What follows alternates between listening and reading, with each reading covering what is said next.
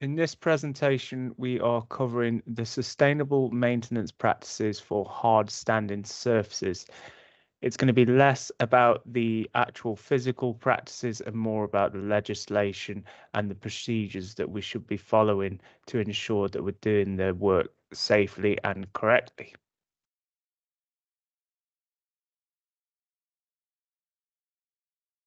First of all, what legal and regulatory requirements may affect us while maintaining hard services? Here, the Provision and Use of Work Equipment Regulations 1998. This will cover any equipment that we use, so any petrol equipment, any battery powered equipment, any manual equipment uh, used to carry out the task. COSHH 2002, this will be so any sort of fuel uh, any pesticides that we decide to use, any sort of chemicals to help clean the surfaces. Health and Safety at Work Act 1974. This is a generic sort of everything within the workplace. Manual Handling Regulations 1992. So if we're moving anything manually and physically. Environment Act 2021. Um, so the environment around us, are we disturbing any wildlife? What are we doing with our waste? Road Traffic Act 1988. Um, so if we're having to use equipment on the road, does it need to be registered? Do we need license plates, for example? The Wildlife and Countryside Act in 1981, again, we're thinking of the wildlife, we're thinking of our waste disposals. Health and safety legislation and policies. The importance of health and safety legislation. Health and safety laws ensure the well-being of workers and the public during maintenance activities. They provide guidelines for risk assessments, manual handling, and pesticide use and storage. Codes of practice and policies. Industry specific codes and organizational policies detail best practices for ensuring safety in maintenance tasks. Adhering to these codes and policies minimizes the accidents and injuries. Hazards in the horticultural environment. Common hazards include slips, trips, falls, exposure to chemicals, and strain from manual tasks. Identifying these hazards and implementing control measures is essential for worker safety.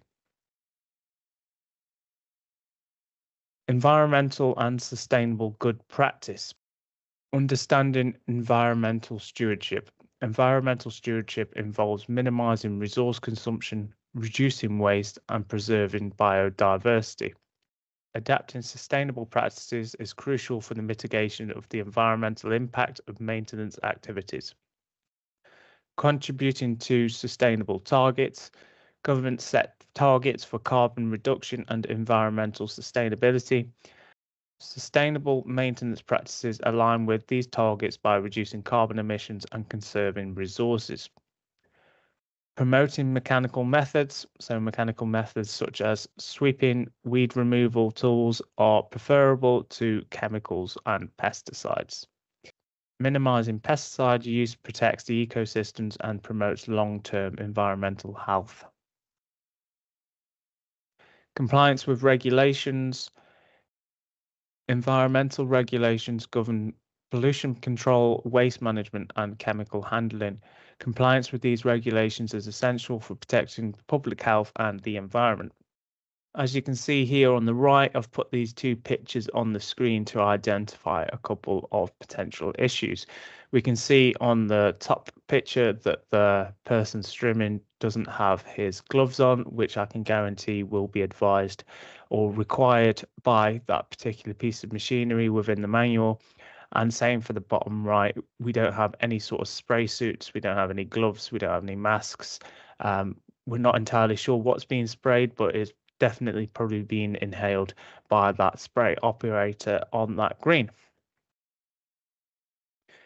Special care situations. So we need to be considerate of sensitive areas. Some sites may have heritage or environmental significance and require special care. Compliance with the site-specific regulations is necessary to avoid any damage to sensitive ecosystems or cultural assets.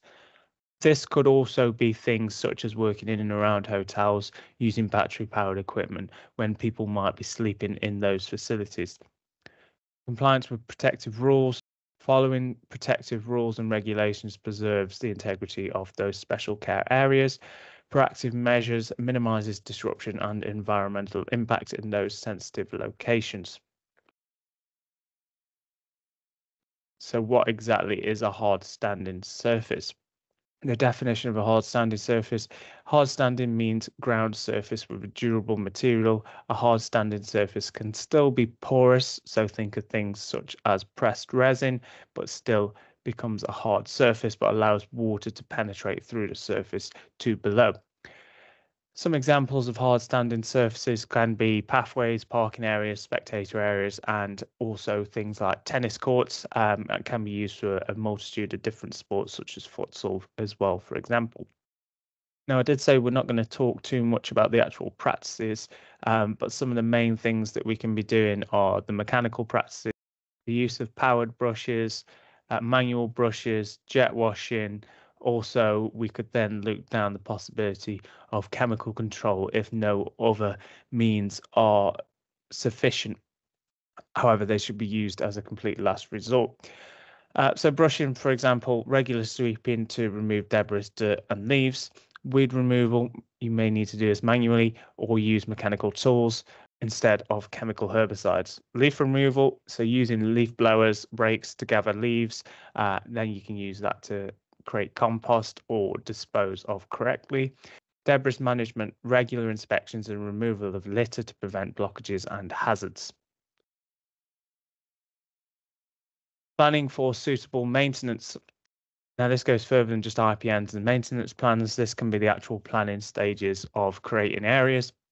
Uh, for example, there's been many studies done where creating corners in car parks where debris is allowed to collect is obviously uh, an issue. However, if you remove that corner and have a uh, curved corner, the debris will not collect in those areas, reducing a potential job uh, for someone to go have to clean those areas. But also, then if the debris isn't building up, weeds aren't being created, um, and that debris will then go to another area. So, simple little things like that will help the long term maintenance of a particular area schedule regular inspections, so identifying those maintenance needs before they become major issues, implement integrated pest management plans, so the focus on prevention, monitoring, and non chemical control methods.